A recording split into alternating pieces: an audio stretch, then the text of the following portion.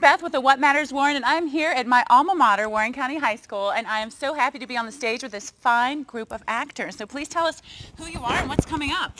Uh, my name's Chelsea Cross, and we are the cast of She Kills Monsters, and we are going to be performing in about a week. Yay! So I saw a few of the scenes. I'm going to share some with you after this interview, but really good. I'm like, want to know what happens next.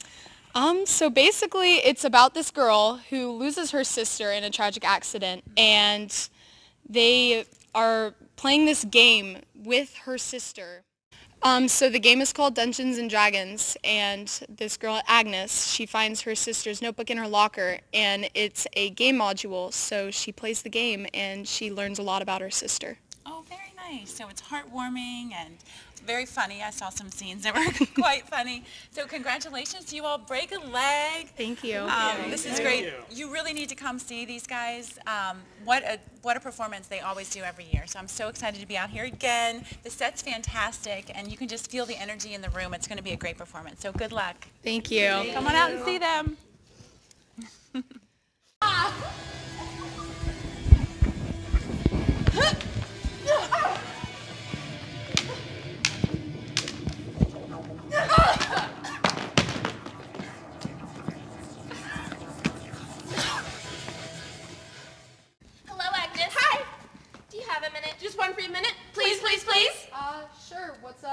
Okay, so we're both on this year's yearbook committee representing the freshman class. We were wondering if we could run an ad for the Bob Bobcat Annual.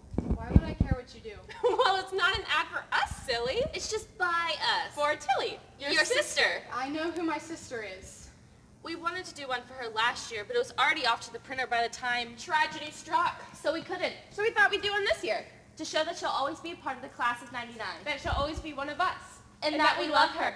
So you guys were friends with my sister? Of course. She was such a good spirit. She always knew how to make someone smile. We now know the identity of the teenager killed in an overnight crash. Where the life of a high school student with a promising future ended in an instant last Friday afternoon.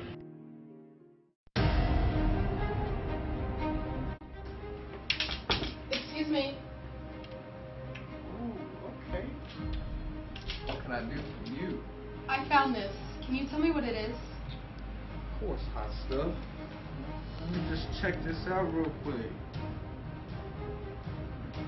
Well, it's clearly a homespun module made for D&D. Says this is Tilly, Tilly's the Paladins. How do you know Tilly?